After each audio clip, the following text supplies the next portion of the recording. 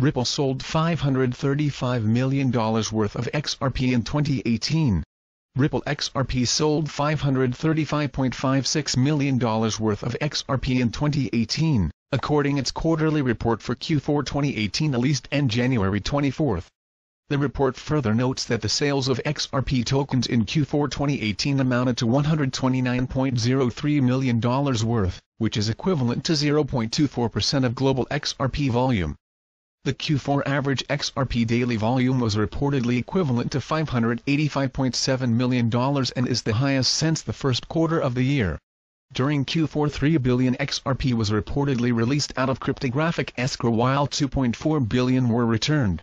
According to the statement, the remaining 600 million XRP not returned to escrow are being used in a variety of ways to help support the XRP ecosystem, including the Ripple Net Accelerator program and XPRING investments like Securitize.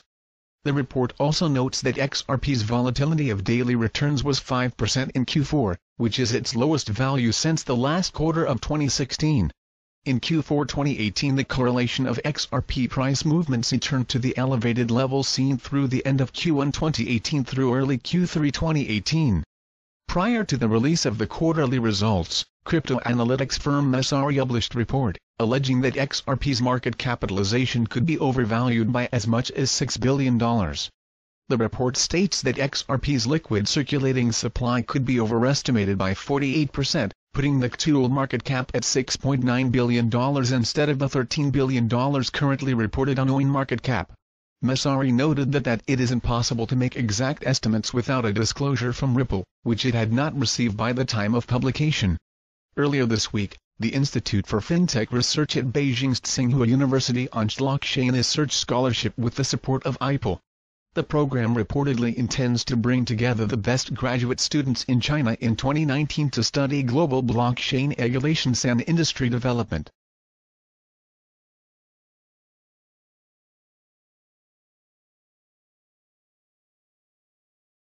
Ripple's XRP last three months wrapped, most promising future competitor against BTC. Being in the headlines on a daily basis is undeniably a characteristic that shines for Ripple's XRP. As we are closing into the end of the year, a short summarization of the last couple of months would be a read worthy for any trader or crypto enthusiast who is looking forward to 2019. One user, who goes by the moniker Zombie XRP, asked Changpeng Zhao, Binance's fervent chief executive, to list XRP as a base pair. In response to the quip CZ, being a good sport and all, responded by writing be careful what you wish for, ending his cryptic message with a cheeky smiley face. ND now, just a few days later, Zhao, revealed that his brainchild Binance will be adding the aforementioned asset as a WUO base shortly.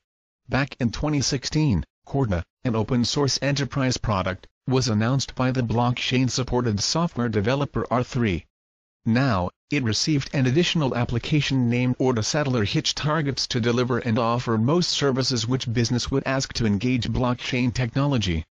Key deployment of the Corda Settler and its support for XRP as the first settlement mechanism is an important step in showing how the powerful ecosystems cultivated by two of the of the world's most influential crypto and blockchain communities can work together.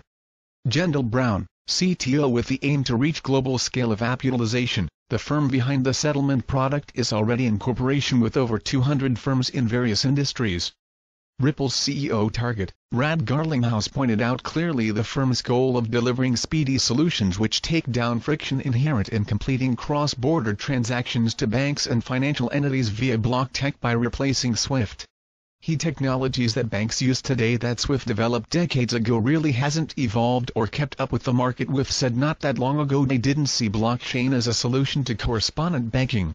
We've got well over 100 of their customers saying they disagree. In an official press release sued by the MUFG on November 9, 2018, the finance giant announced the signing of a memorandum of understanding to develop a new cross-border payment service as part of a joint effort between MUFG and Bradesco. According to MUFG, both parties trust that Ripple Incorporated, the creator of the XRP is the best option to give life to the project, Raw this MOU, MUFG Bank has decided to start the collaborative development for cross-border payments between Japan and Brazil, utilizing Ripple's cutting-edge technology.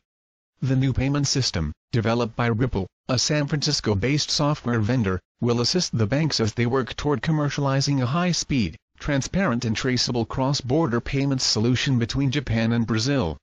NQ3 2018, RP Markets report shows that Ripple managed to sell $163 million in XRP, despite the volatility and negative behavior of the overall market. According to the report, $65.27 million were sold by the company while the rest were sold by a subsidiary registered as a money service business XRP Second, LLC. CoinField has further announced that an exchange system with XRP as the base currency will be available to its customers in 61 countries across the world. Users in these countries will only have to complete a simple KYC Know Your Customer process during registration. Mid-November, following many position contesting showcased by XRP towards Ethereum's second spot by market capitalization, it was able to overtake and stand behind only to Bitcoin. Because of its highly viewed characteristics when it comes to speed, low-fee cross-border transactions and its existing payment system which can challenge SWIFT any day, many cryptoverse analysts claim that if and when the crypto revolution comes in the tech and financial industry, Ripple's XRP will be at the front leading the change for the better.